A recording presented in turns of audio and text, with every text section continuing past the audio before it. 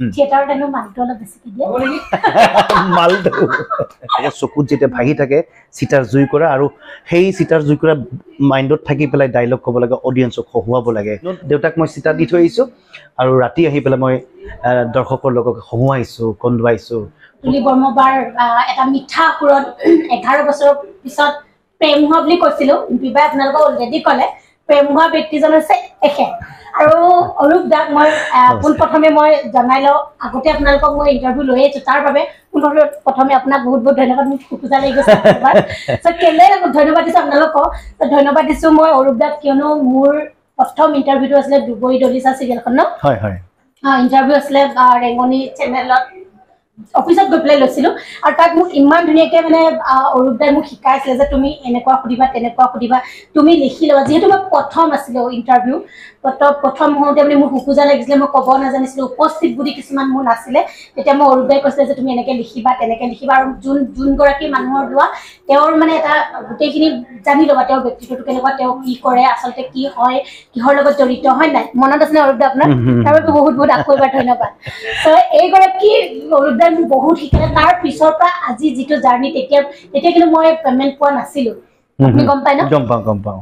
তাৰপিছৰ পৰা মই পেমেণ্ট পাওঁ এতিয়া বহুতখিনিয়ে পেমেণ্ট পাওঁ। তাৰপিছৰ পৰা মোৰ মানে ইমান ধুনীয়াকে মোৰ অৰূপ আজি শিকাই পেলাই মানে বহুত বেছি একো হোৱা নাই মই। কিন্তু টেন ভাগ হ'লেও মানে দহ এশ ভাগৰে দহ ভাগ হ'লেও মোৰ অকণমান হ'লেও জনা হৈছোঁ য'ত আৰৰ মানুহজন হৈছে অৰূপ দা। থেংক ইউ থেংক ইউ ছ এটা। মাছ মই এইটোৱে ক'ব বিচাৰোঁ যে আজি যিখিনি যি ধৰণে তুমি কথা কৈ আছা বহুত এক্সপাৰ্ট বহুত ভাল বহুত ধুনীয়াকৈ কৈছে আচলতে মই শিকাব পৰা কোনো কথা নাই জাষ্ট আমি যিহেতু ইণ্টাৰভিউ য'ত কৰি থাকোঁ আমাৰ অকণমান হ'লেও আমি যিখিনি জানিছোঁ। তেওঁ নতুনকৈ আহিছিলে মোৰ ইণ্টাৰভিউ ল'বৰ কাৰণে দুবৰি দলিচা যিখন চিৰিয়েল সমগ্ৰ অসমবাসীয়ে মৰম দিছে। আশীৰ্বাদ আশীৰ্বাদ দিছে নহয় জানো গতিকে সেই চিৰিয়েলখনৰ ইণ্টাৰভিউ লোৱাৰ ইচ্ছা কৰিলে। তেতিয়া তেওঁ মানে কথা ক'বলৈ অলপ দিগদাৰ মই একেবাৰে কৈছিলো আহা আহা একো প্ৰব্লেম নাই। আহিব বিচাৰিছিলে আহিলে আমাৰ গোটেই ইউনিটৰ লগত ধুনীয়াকে কথা পাতিলে। কিন্তু কথা কওঁতে তেওঁ অকণমান ভয় খাইছিলে। ক'ব পৰা নাছিলে সেই সময়ত। অঁ। সেইকাৰণে মই কেনেকে ক'ব লাগে কি কৰিব লাগে আৰ্টিষ্টৰ গোটেইখিনি কেনেকে মানে কি কি সুধিব লাগে কেনেকুৱা ধৰণৰ মানে বিষয়ৰ ওপৰত সুধিব লাগে। সেইখিনি জাষ্ট অকণমান আঙুলিয়াই দিছোঁ। কিন্তু তেওঁ জানে বহুত বহুতখিনি কথাই তেওঁ জানে। আৰু এতিয়াতো খুব ধুনীয়াকৈ কথা ক'ব লৈছে খুব ধুনীয়াকৈ সুধি আছে। এতিয়া আমাৰ এটা খুব সুন্দৰ গানৰ শ্বুটিং চলি আছে বৰ্তমান। আৰু ইয়াত মোৰ ভাল লগা বহুত কেইটা কাৰণ আছে। প্ৰথম কাৰণটো ৰিম্পিক কৈছে চাগে? তাৰমানে প্ৰথম কাৰণটো হৈছে কি ৰিম্পী দাস আৰু মই একেলগে কাম কৰিছিলোঁ দুহেজাৰ ন চনত। এতিয়া প্ৰায় এঘাৰ বছৰৰ বেছি হ'ল। এঘাৰ বছৰ হৈ গ'ল। গতিকে এঘাৰ বছৰৰ পিছত পুতুলি ব্ৰহ্ম বাইদেউৰ এটা ৰোমেণ্টিক চং সেই চংটোত আমি দুয়োটাই একেলগে আকৌ পুনৰ লগ হৈছোঁ একেলগে অভিনয় কৰিছোঁ। দিনটো আমাৰ পুৰণা কথা পাতোতে পাতোতে কেনেকৈ পাৰ হৈ গ'ল আমি গমেই নাপালোঁ।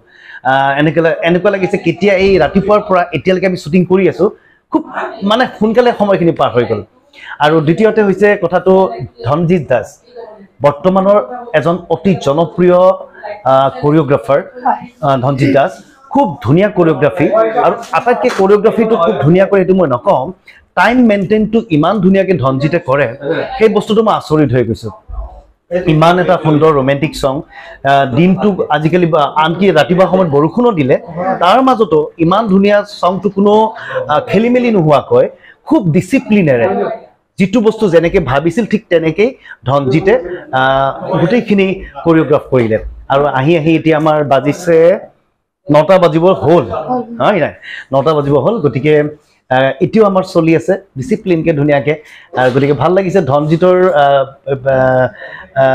মানে কৰিঅ'গ্ৰাফিত মই এইটো বৰ্তমানত মই ছয় নম্বৰমান গান হ'ব। থিয়েটাৰত আগতে কৰিছিলে ধনজিতে। থিয়েটাৰত ভালেকেইটা গান কৰিছে কিন্তু এয়া অলকানন্দাৰ এটা গান কৰিছিলে। এইটো এতিয়া কৰিলে এই বছৰত দুটা গান কৰিলে মই। গতিকে খুব ভাল কৰিঅ'গ্ৰাফি কৰে ধনজিতৰ কথাটো ক'লোঁ। আৰু পুতুলি ব্ৰহ্ম বাইদেউ খুব ধুনীয়া এটা গান মানে উপহাৰ দিয়াৰ বাবে আৰু ৰিম্পী আৰু মোক পুনৰবাৰ এবাৰ লগ হোৱাৰ এটা সুযোগ দিয়াৰ বাবে তেখেতলৈ মই বহুত বহুত ধন্যবাদ জ্ঞাপন কৰিছোঁ। আৰু ৰিম্পীৰ লগতো কাম কৰি সদায় ভাল লাগে আগতেও কাম কৰিছোঁ। খুব ধুনীয়াকৈ ফ্ৰেণ্ডলি আমি অচিন চিনাকিত কাম কৰিছিলোঁ। গতিকে এতিয়াও আমি সেই একেই ফ্ৰেণ্ড একেই আমাৰ মানে কি একেই এটা ভাল সম্পৰ্ক আমাৰ এতিয়াও আছে। আৰু সেই সম্পৰ্কৰে আমি আজি এটা সুন্দৰ ৰোমেণ্টিক ছং আমি দিনটোত কৰিলোঁ।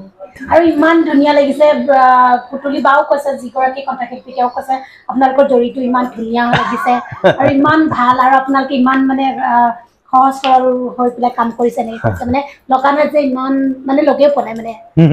সদায় লগ পোৱাৰ দৰে লাগিছে। মানে কি হয় যেতিয়া কোনোবা এজন নতুনকে মানুহ এজন আহে তেওঁক আমি ছাপোৰ্ট কৰাটো দৰকাৰ। যেতিয়া তেখেতসকলক যদি আমি বিভিন্ন ধৰণৰ কিবা কিবি কৈ থাকোঁ তেখেতসকলে নাৰ্ভাছ হৈ যাব পাৰে বা তেখেতসকলে কামটোত অলপ মানে কিবা এটা অসুবিধা পাব পাৰে যাৰ ফলত আমাৰ গানটোৱে বেয়া হৈ যাব। গতিকে আমি খুব ফ্ৰেণ্ডলি কাম কৰিছোঁ তেখেতৰ লগত আৰু সেইকাৰণে চাগে বাইদেৱে ভাল পাইছে। আৰু বাইদেউ বহুত ভাল আহ, হীৰক দাও ভাল গতিকে খুব আমাৰ ইউনিটটোৱে গোটেই ইউনিটৰ কথা ক'ব লাগিব। কোনো এটা খাম খেয়ালি নোহোৱাকৈ গোটেই দিনটো ইমান ধুনীয়াকৈ পাৰ হৈ গৈছে। না খোৱাৰ অসুবিধা আছে না আমাৰ কিবা বিশেষ অসুবি- অসুবিধা আছে। গোটেইখিনি আমাৰ খুব? ধুনীয়া গৈছে আমি আজি মই আচলতে ব্ৰত মঙলবাৰ অ, মঙলবাৰ মই ব্ৰত থাকোঁ মই পিঁয়াজ পিঁয়াজো নাখাওঁ নহৰু নাখাওঁ। মাছ মাংসটো দূৰৰ কথা গতিকে আজি মোৰ দিনটো একদম আৰু আপুনি ইমান ধুনীয়া হৈছে। কি কোৱা? অ একদম পুৰা ফিট বডি ফিট মানে দুবৰি দলিচাতকে আৰু বিৰাট বেছি পৰিৱৰ্তন। কেলে মানে আপুনি বোলে থিয়েটাৰ যাব গৈছে সেইকাৰণে নেকি? থিয়েটাৰটো যাম প্লেনিং এটা নতুনকে দহ বছৰ আগতে থাকিলো। এটা বেলেগ অৰূপ বৈশ্য আছিলো। এতিয়া অকণমান আকৌ ৰাইজৰ মাজত অলপ বেলেগ হৈ যাব চেষ্টা কৰিছো। সেইটোও নহয় আৰু খোৱাবিলাক খোৱা যিবিলাক খোৱা আগতে খোৱা বোৱা কৰিছিলো সেইবোৰ অলপ কমাই দিছো। অলপ কমকে খোৱা কৰিছো আৰু। এনেও ধুনীয়া কিন্তু থিয়েটাৰ ক'ত থিয়েটাৰ যাব অকমানকে যদি মই দুইহেজাৰ তেইছ চৌব্বিছ নাট্যবৰ্ষত মই লুইতপৰীয়া থিয়েটাৰত যাম। আমাৰ ভ্ৰাম্যমান থিয়েটাৰ আখাৰী নাট্য দল আহ, তেখেতৰ সেইখন থিয়েটাৰত মই যাম। আৰু অলৰেডি আমাৰ ফটোশ্বুট হৈ গ'ল। আমাৰ যোৱাকালি যোৱাকালি ফটোশ্বুট হৈ গৈছে। খুব ধুনীয়া তিনিখন নাটক আছে। ৰাইজে গম পাব অতি সোনকালে। আৰু মই বিৰাট মানে মানে কেনেকুৱা হৈছে কালি গুচি যাম নেকি কালি গুচি যাম নেকি এনে অঁ কেতিয়া পাওঁ কেতিয়া পাম কালি মই যাম নেকি এনেকুৱা ভাবি আছো। গতিকে ফটোশ্বুট হোৱাৰ লগে লগে ভাবি আছো আকৌ যে মানে টাইম আছেতো।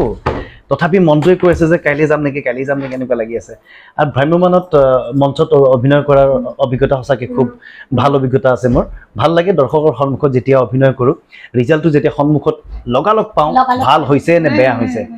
আৰু ৰাইজৰ যি হাত তালিব ৰাইজৰ যি চিঞৰবোৰ গেলাৰীৰ পৰা যিবোৰ যিবোৰ চিঞৰ মাৰে ভাল হ'লে যিবিলাক চিঞৰ মাৰে তালি দিয়ে সেইবোৰ কাণত বাজি থাকে। সপোন দেখোঁ ৰাতি ৰাতি সপোন দেখোঁ ভাল লাগে বহুত ভাল লাগে। তিনি বছৰ মূৰত যাব তিনি বছৰ মূৰত যাম। নাইনটিন টু থাউজেণ্ড নাইনটিনত মই কোহিনুৰ থিয়েটাৰত আছিলোঁ। তাৰপিছতে কৰোণা আহি গ'ল। কৰোণা আহি যোৱাৰ পাছত যি বন্ধ হ'ল তাৰপিছত আৰু মই দুবছৰমান নাই ইমান বছৰ গ'লো দুবছৰমান গেপ লওঁ। তাৰপিছত একচুৱেলি মই যেতিয়া কৰোণা আহি গ'ল থিয়েটাৰ বন্ধ হৈ গ'ল তেতিয়া টিভি চিৰিয়েল থেংকছ টু ইনুবা ইনুবাই মই এখন খুব ধুনীয়া চিৰিয়েলৰ কাৰণে মোক বিচাৰিলে আৰু ৰাজেশ দায়ে মোক বিচাৰিলে। তেখেতসকলক বহুত বহুত ধন্যবাদ। তেখেতসকলে মোক দুবৰি দলিচা নামৰ চিৰিয়েলখনত মোক বিচাৰিলে। গতিকে মই সেইখনত খুব জান প্ৰাণ দি কাম কৰিছোঁ। ষ্টৰিটো ইমান ভাল লাগিছে মোৰ। গতিকে মই যিমান পাৰোঁ চেষ্টা কৰিছোঁ ভাল কৰিবৰ কাৰণে। ইনুবাইও মোক বহুতখিনি কৈছে শিকাইছে বা কেনেকৈ কৰিব লাগিব। বহুতখিনি হেল্প কৰিছে ইনুবাই গতিকে সেইকাৰণে মোৰ ফালৰ পৰা বহুত বহুত আকৌ এবাৰ থেংকছ জনাইছোঁ ইনুবাক আৰু সেই চিৰিয়েলখনৰ পাছৰ পৰাই মই ইখনৰ পিছত ইখন ইখনৰ পিছত ইখন। একুকি তৰাটো এইটো লাষ্ট কৰিলোঁ মই কৃষ্ণ সাক্ষী কৰিলোঁ ৰঙৰ। অলকানন্দ কৰিলোঁ ৰঙৰ। তাৰপাছত? জে বি প্ৰডাকশ্যনৰ যতীন্দাৰ প্ৰডাকশ্যনৰ এখন মৰিচিকা কৰিলোঁ। তাৰপিছত আমাৰ যদুমণি দত্তৰ যদুমণি দত্তৰ পৰিচালনাত। কৰিলোঁ মই। হেৰি এখন কি আছিলে? কুঁৱলী।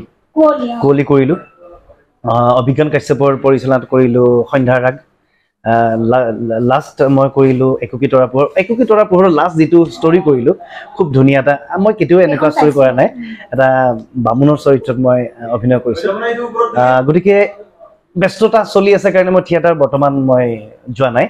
আৰু গতিকে নেক্সট ইয়াৰ আকৌ মোক বিচাৰি আছে থিয়েটাৰবিলাকে সেইকাৰণে মই লুইতপুৰীয়া থিয়েটাৰৰ দাদা প্ৰযোজক দা বসুমন্ত্ৰী দা তেখেতৰ কথা ভাল লাগিল তেখেতে বিচাৰিছে বহুত আৰু সেইকাৰণে মই তেখেতৰ থিয়েটাৰত যাবৰ কাৰণে মই ইচ্ছা প্ৰকাশ কৰিলোঁ। আপোনাক শুভেচ্ছা জনালে আপুনি আকৌ থিয়েটাৰত যাব. আমিও পাম আমি চাবলৈ পাম। মই অকমানকে অকমানকে সুধো বেছি নকওঁ. থিয়েটাৰত এনেও মালটো অলপ বেছিকে দিয়ে। মালটো? মালটো মানে কি আকৌ? কষ্টটো বেছি হৈছে কষ্টটো বেছি হয়। আৰু আটাইতকৈ ডাঙৰ কথা কি জানা? সেই মালটো পোৱা যেন নালাগে যেতিয়া দেউতা আজি ঢুকাব দেউতা ডেড বডি থৈ পেলাই মই নাটক কৰি আছোঁ। তেতিয়া সেই মাল লোৱা যেন নালাগে। দেউতা দেউতাৰ চিটাৰ জুই কৰা চকুত ভাহি ভাহি অডিয়েঞ্চৰ আগত যেতিয়া ডাইলগ ক'ব লাগে চকুত যেতিয়া ভাহি থাকে চিটাৰ জুই কৰা আৰু সেই চিটাৰ জুই কৰা মাইণ্ডত থাকি পেলাই ডাইলগ ক'ব লাগে অডিয়েঞ্চক হহুৱাব লাগে। মই দেউতাক আগদিনাখন চিটা মানে দিনত দেউতাক মই চিটা দি থৈ আহিছোঁ আৰু ৰাতি আহি পেলাই মই দৰ্শকৰ লগত হহুৱাইছোঁ কন্দুৱাইছোঁ ফূৰ্তি কৰিছোঁ। ডাইলগ কিমান টান টান ডাইলগৰ মাজত সেই কেনেকুৱা এটা কষ্ট অনুভৱ হয় সেয়া অনুভৱ কৰিব পাৰে। গতিকে ভ্ৰাম্যমান থিয়েটাৰৰ যি যিসকল অভিনেতা অভিনেত্ৰী কলা কুশলে কাম কৰি থাকে পইচা পালেও কিন্তু তাৰ উবচুল হৈ যায়। বহুত কষ্ট কৰে বোকা পানী নেওচি। এই ৰ'দ ইমান গৰমত মানুহ ঘৰত থাকিব নোৱাৰে। তাত ফেনৰ ব্যৱস্থা নাই। যে আমি। শ্বুটিঙত এতিয়া এ চি দিছোঁ ফেন দিছোঁ তেনেকুৱা এটা ব্যৱস্থা আছে। ভ্ৰাম্যমান থিয়েটাৰত সেই ব্যৱস্থাটো নাই। তাত ডাঙৰ ডাঙৰ লাইট পাৰ লাইট ইউজ কৰে সেই পাৰ লাইট মানে ইফালে গৰম তাৰ ওপৰতো জেকেট পিন্ধিব লগা থাকে যদি কোট পিন্ধিব লগা সেই পিন্ধি পেলাই সেই পাৰ্লাৰটোৰ পোহৰত জুই জ্বলি যায় গাত ধোঁৱা ওলাই যায়। তেনেকে নাটক কৰিব লগা হয়। বৰষুণ পৰি থাকে দৰ্শকে নাটক চাই চকী লয় তথাপি আমি তিতি তিতি নাটক কৰিব লগা হয়। পিছফালটো পূৰা বোকা হৈ থাকে। কিন্তু সেই টাইমিঙত মিলাই পেলাই আমি দৌৰি গৈ ড্ৰেছ চেঞ্জ কৰি বোকা চিটিকি থাকে ইফালে। চাৰিওফালে বোকা চিটিকি থাকে। সেই টাইমিংটো মিলাবই লাগিব। কাৰণ মই লাহে লাহে খোজেৰে গৈ পেলাই সিফালে গ'লে নহ'ব। গতিকে কষ্ট যিমান হয়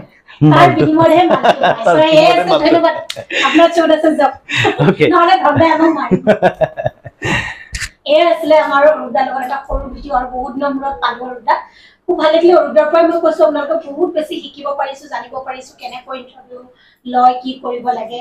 চ' আপোনালোকে কেনেকুৱা ফালে জনাব আৰু গানটো আপোনালোকে শুনিব? জিদ্দাৰ কৰিগ্ৰাফি হয় আৰু কেমেৰামেন কোন হয় কি হয়? আপোনালোক কৈয়ে দিওঁ কেমেৰামেন আছে আমাৰ বিপুল বিপুল দা বহুত বেছি জনপ্ৰিয় সকলোৱে জানে। দেখুৱাইছো আপোনালোকক। আৰু পাতিছো আপোনালোকক আমি দেখুৱাই আছো জনাই আছো। গতিকে যদি ভাল লাগিলে লাইক কমেণ্ট শ্বেয়াৰ ছাবস্ক্ৰাইব কৰি কাষত থকা বেল আইকনটো ক্লিক কৰিব তেতিয়া আমি পুনৰ ভিডিঅ' অতি সোনকালে পাম। পুনৰ এটি নতুন ভিডিঅ'লৈ লগ চ' আজিলৈ কৰিছো।